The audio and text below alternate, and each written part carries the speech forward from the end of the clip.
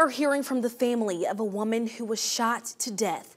Police believe an acquaintance killed Dixie Shirah, then attempted to cover up that crime.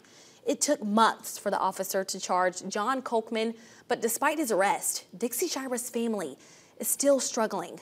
News 4's Michaela Simmons joins us with that family and shares their tragic and heartbreaking story. Good evening, Michaela.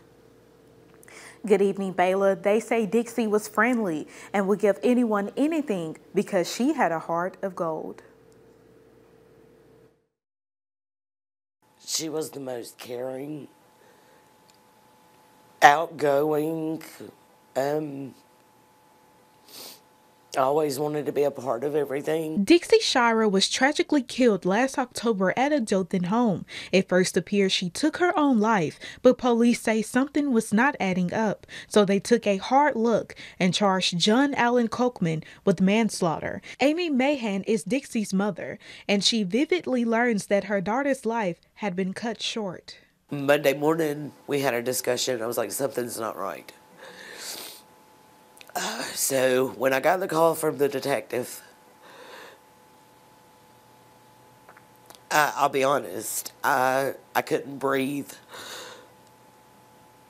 It was like somebody reached inside me and just pulled out my soul.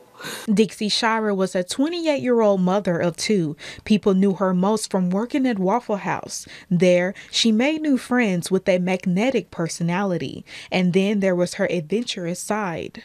Dixie wanted to start shooting, so I started off with a little BB gun, and we were shooting targets 25, 30 feet. Um, then it graduated up to a 22 caliber, and then on, on up into the larger larger weapons that I have. Um, he says being around Dixie was like being around a light, a beacon of joy. Jimmy Shirah won't forget being around Dixie and her two sisters. I, I taught them all how to drive. And, uh, well, I give them a little truck and said, go through the woods, learn how to drive it. You know? And they did. Um, and I'd be in there with them sometimes, and they'd hit trees and stuff, and it was all out in the woods, you know. The investigation into Dixie's death is ongoing, and police don't rule out other charges. Um, I, I want to know